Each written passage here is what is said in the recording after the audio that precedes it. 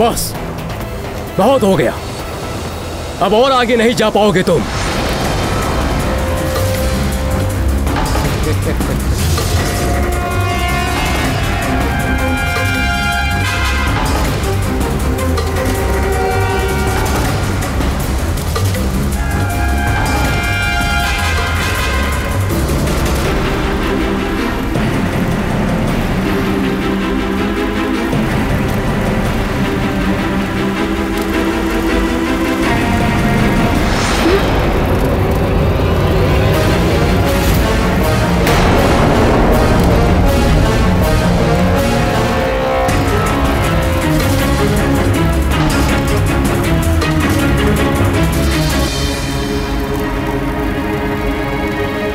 इसे मेरी शक्ति का आभास होगा।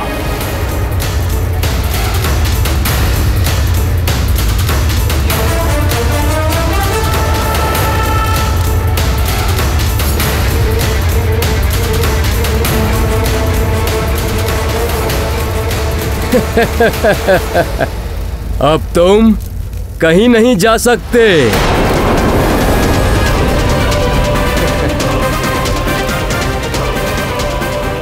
इतनी प्रचंड अग्नि। हम्म। अवश्य ये आकाश फल बहुत विशेष होगा। इसीलिए अनेक बाधाएँ आ रही हैं। किंतु मारुति इन बाधाओं से भयभीत होकर लौटेगा नहीं। मारुति तो उस आकाश फल को खाकर ही रहेगा।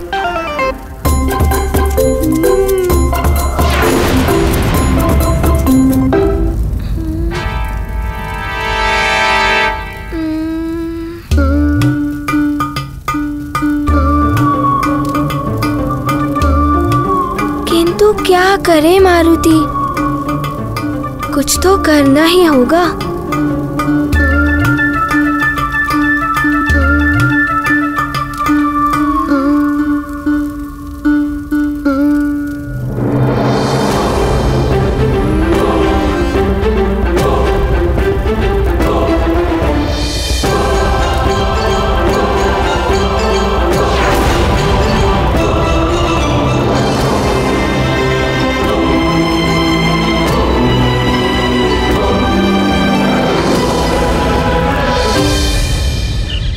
इस फल का निरंतर लुढ़कते रहना। फिर गुफा का द्वार अपने आप से बंद हो जाना। कहीं किसी मायावी असुर ने हमें अपने माया जाल में तो नहीं फंसा लिया? लगता है किसी ने बड़ी चट्टान फंसा दी है द्वार पर। तोड़ना होगा इसे। चलो द्वार खोलते हैं। चलो। इसे तोड़ना ही होगा। हाँ, ही अकबल कहीं मैं फिर से पीट ना जाऊँ?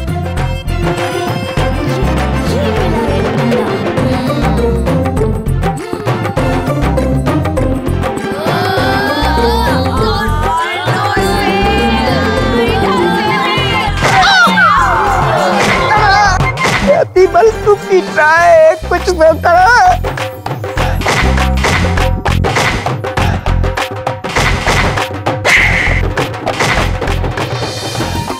देखिए लंकेश आपके लिए मैं क्या क्या सहन कर रहा हूँ?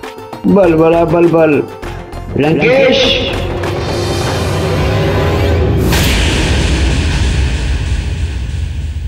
है कहा ये अतिबल?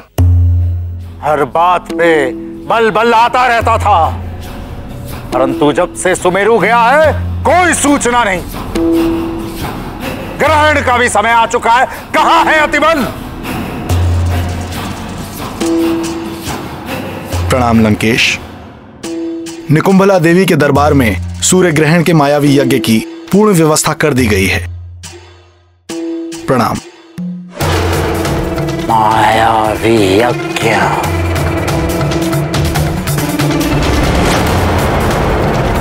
राहुल! तू हर दिन इसी तरह सूर्य को ग्रसा कर। सूर्य को ग्रहण लगते ही हमारी असुरी शक्तियाँ प्रबल हो उठती हैं। ग्रहण काल में मायावी यज्ञ से हमारे मायावी असुरों को अनेकों आसुरी सिद्धियाँ प्राप्त होती हैं। जय दिखुम भला। महाराज दशानंद की। महाराज दशानंद की। लंकाधिपति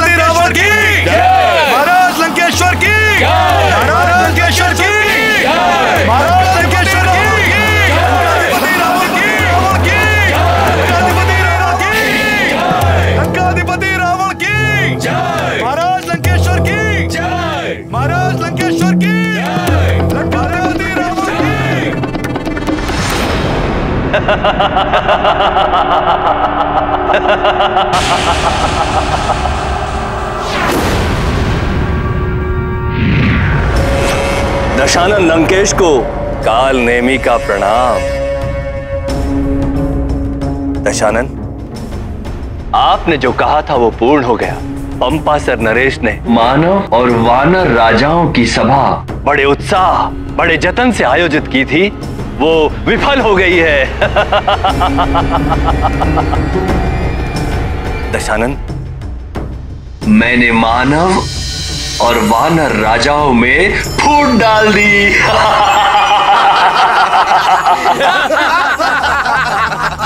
काल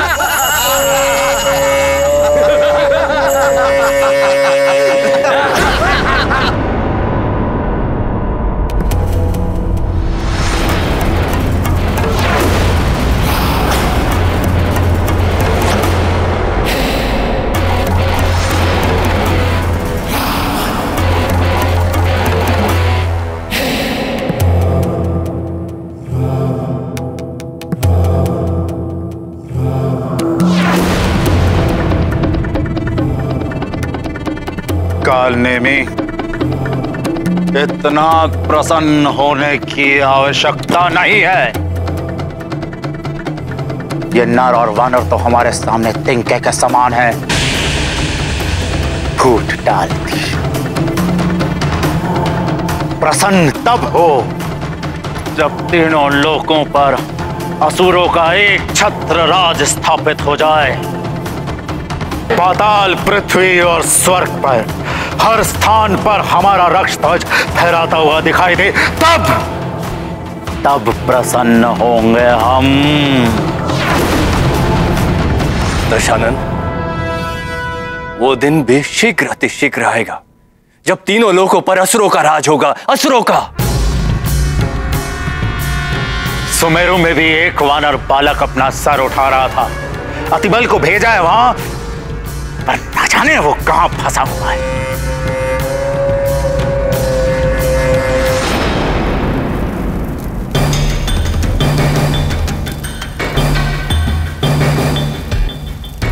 अब इस अग्निकुंड के समक्ष और अधिक देर तक ठहर नहीं पाओगे मारुति।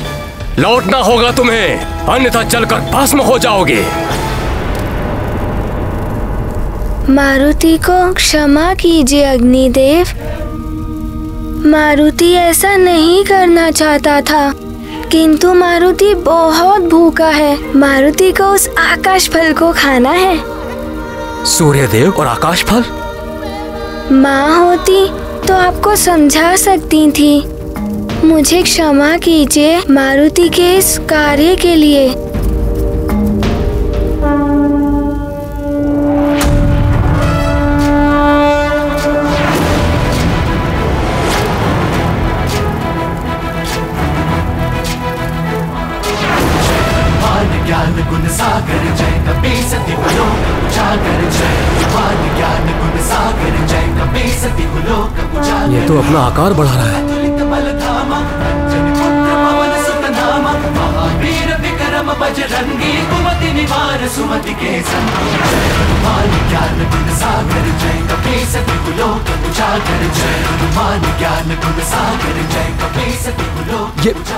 रहा है वरण विराज सुबेसा कानन कुंडल हो क्या रहा है? और ध्वजा विराजय कांधे मोज जने साजय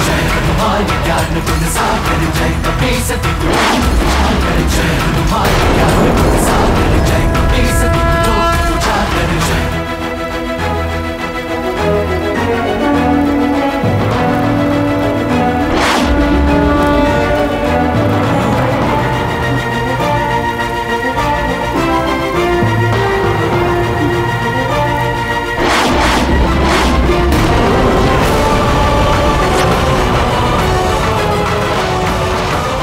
असंभव। ब्रह्मादि सारद सहित अहिसा जहाँ दे कवि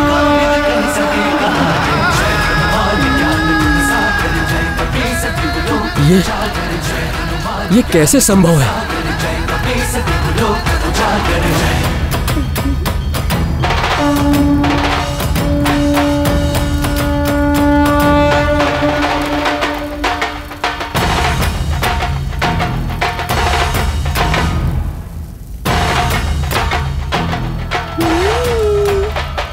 आश्चर्य है एक वानर बालक ऐसे कैसे कर सकता है सूर्यदेव प्रतीत होता है अद्भुत शक्तियों का स्वामी है ये बालक प्रताप तुम्हारा सिद्ध जगत उजियारा संत के तुम रखवारे असुर निकंदन राम जय हनुमान ज्ञान गुण सागर जय जय हनुमान ज्ञान गुण सागर जय बस।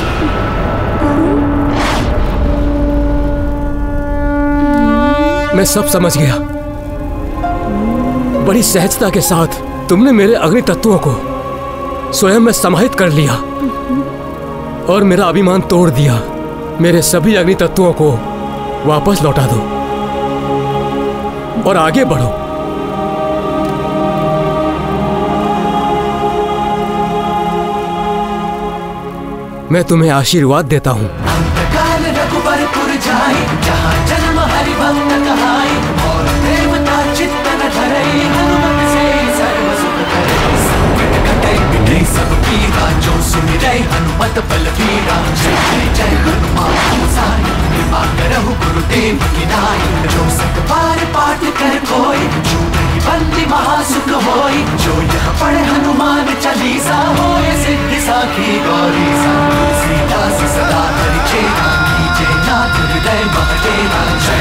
हनुमान ज्ञान सागर जय। कपीस तिहु लोक उजागर जय। पवन तनय संकट हरण हनुमान ज्ञान गुण मंगल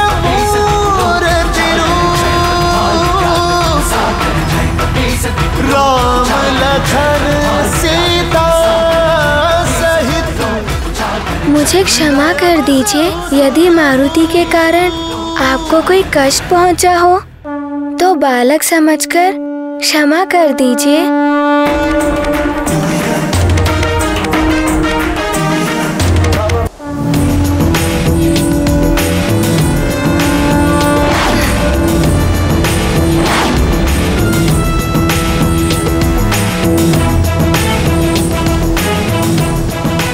अवश्य ही ये रुद्रांश हैं। सारे संसार में और कोई नहीं। जो अग्नि को स्वयं में समाहित कर सके।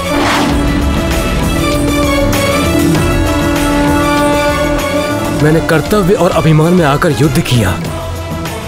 रुद्र, मुझे क्षमा करें।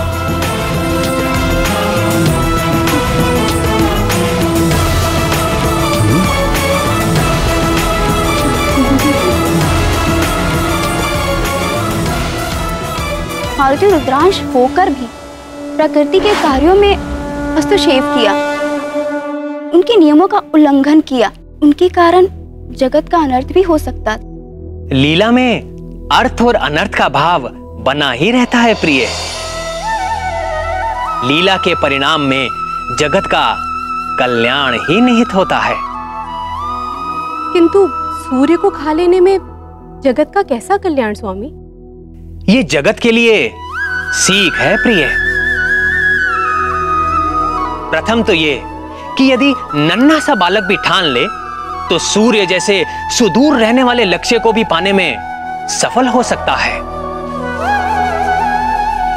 अतः अपने लक्ष्य को पाने के लिए पूर्ण निष्ठा के साथ निरंतर प्रयास करना चाहिए।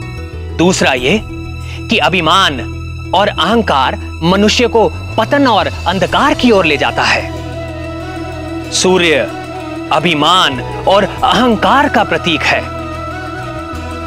अभिमानी को एक नन्ना सा बालक भी पतन की ओर ले जा सकता है। इसीलिए कभी अभिमान नहीं करना चाहिए।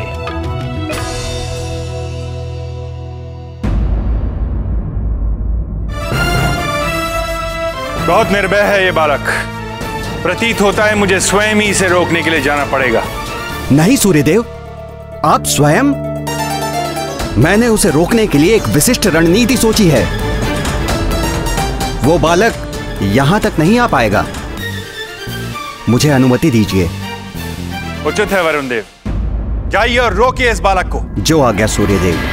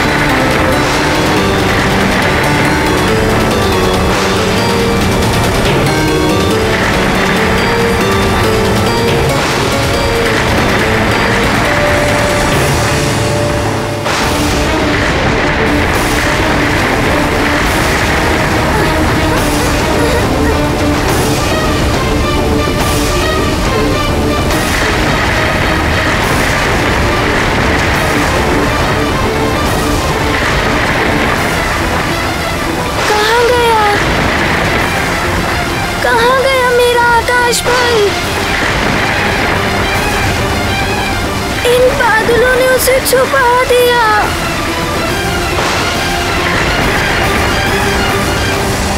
मेरा आकाश फल कहाँ गया?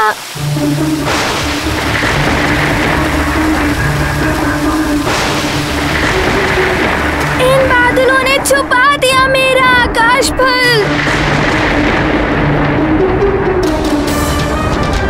मेरा आकाश फल।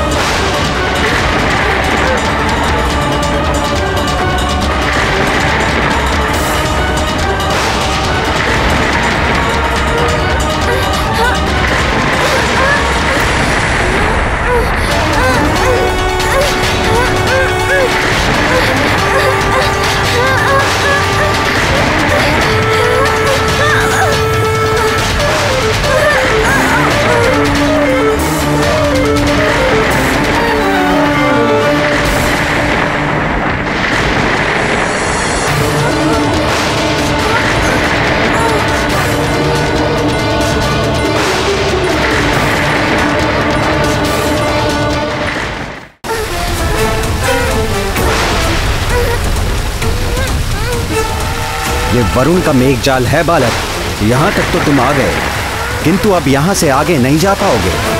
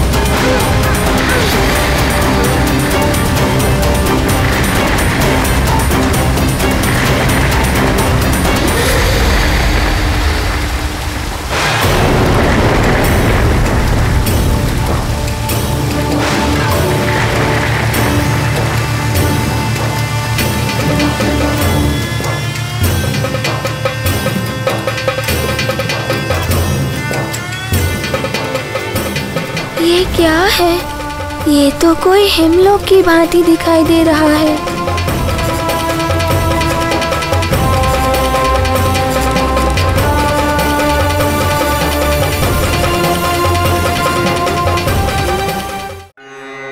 यत्त्वा सूर्यस्वर्वानुस्तमसा विद्यदासुरः अक्षित्रविद्यथा मुक्तो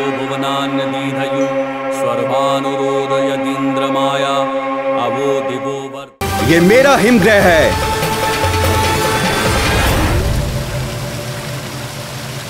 इतनी शीतलता है यहाँ की कि अब तुम मात्र एक हिमशिला बनकर रह जाओगे।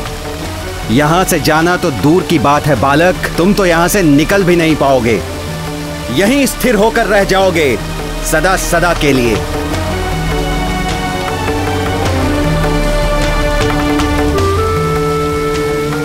प्रयास करना व्यर्थ है, बालक। ये मुझ वरुण का हिमलोक है। तुम वरुण द्वारा बनाए गए सुदृढ़ शिला में बंदी हो, जिसे तोड़ना असंभव है। तुम्हें काल देव ने समझाया। तुम्हें अग्नि देव ने चेतावनी दी, किंतु तुमने किसी की नहीं सुनी। अब यही तुम्हारा दंड है कि तुम सदैव के लिए इसी हिमशिला में बंदी रहोगे।